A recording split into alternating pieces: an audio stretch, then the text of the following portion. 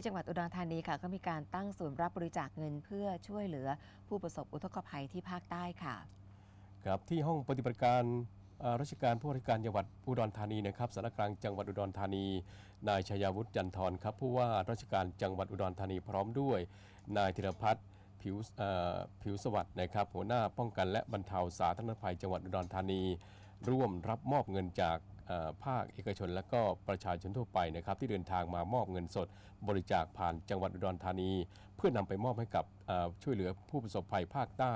นะครับนายชยาวุฒิจันทร์ผู้ว่าราชการจังหวัดอุดรธานีก็บอกว่าจากสถานการณ์ อุทกภัยในพื้นที่จังหวัดภาคใต้ของประเทศไทย ซึ่งสร้างความเสียหายและส่งผลกระทบเป็นบริเวณกว้าง ต่อบ้านเรือนชีวิตทรัพย์สินของราษฎรจำนวนมาก จังหวัดอุดรธานีได้จัดตั้งศูนย์รับบริจาคช่วยเหลือผู้ประสบอุทกภัยภาคใต้ ที่สำนักงานป้องกันและบรรเทาสาธารณภัยจังหวัดอุดรธานี อาคาร 2 ชั้น 7สารกลางจังหวัดอุดรธานีหลังเก่า พร้อมเปิดรับบริจาคเงินผ่านบัญชีออมทรัพย์ธนาคารกรุงไทยจำกัด สาขาอุดรธานีชื่อบัญชีนะคะสำนักงานป้องกันและบรรเทาสาธารณภัยจังหวัดอุดรธานี เลขที่บัญชี 401-6-08680-9 ค่ะ